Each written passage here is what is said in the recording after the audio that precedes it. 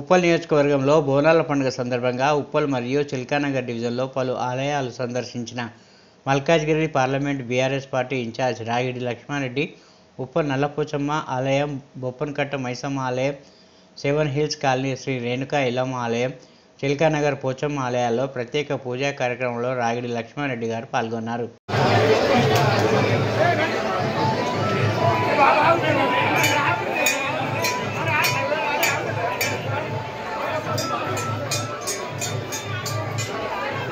Swap.